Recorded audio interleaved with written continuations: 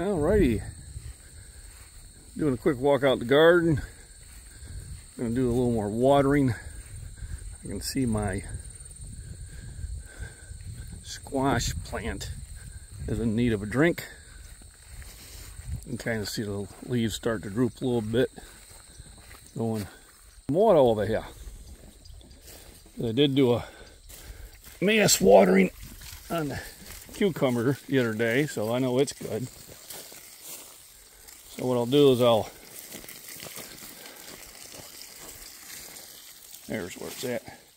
I'll let that run for a few minutes while I walk around and check the garden. So I hit it with the weed whip to kind of clean things around here, make it a little easier to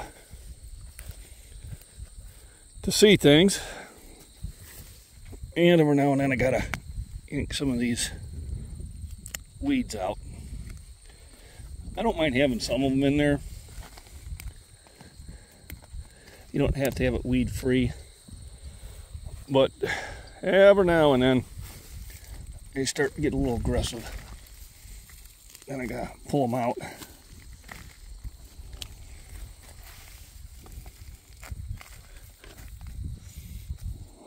There we go.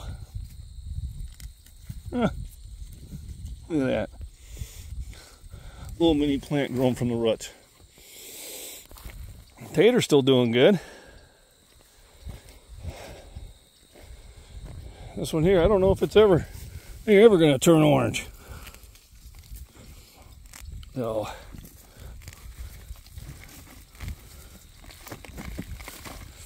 try to shake the dirt back into it.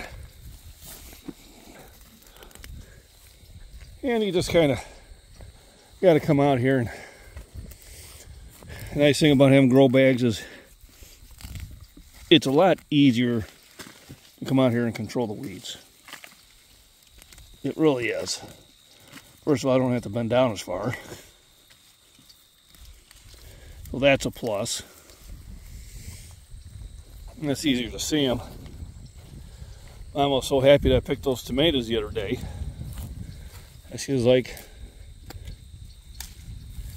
oh, here we go. She's going to be happy again. They're starting to ripen up as fast as I can pick them. So, you know, can I, can I leave them on the vine for a little bit longer? I can, but see what happens? Leave them too long. They start got bugs eating from within. And I don't mind losing one or two of them, you know, to the insects. They got to eat too. But that's why you don't want to leave them there too long. Because then that is what happens. And that's another reason to kind of pick the tomatoes a little bit earlier is so they don't get invited and ate.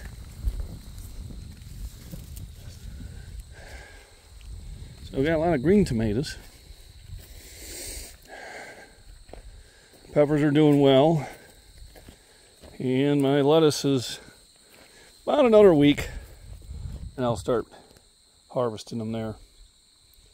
So I'll let the water run for a little bit there and then I'll give the other plants a quick quick shot. I figure I got maybe two weeks, possibly three, before I'm gonna have to dig my pepper plants back up and uh, bring them inside. If I had a greenhouse, I could actually do it with the tomato plant too. Because, you know, tomatoes will keep growing. They don't get chilled. If I was going to do it, it would be this plant.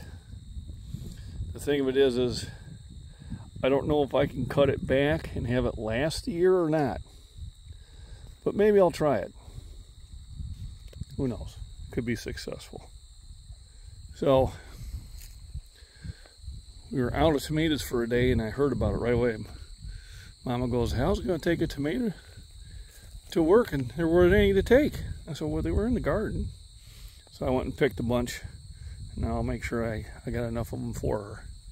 So, rest, good nutrition, proper exercise, and have fun. I enjoy being out here in the sun.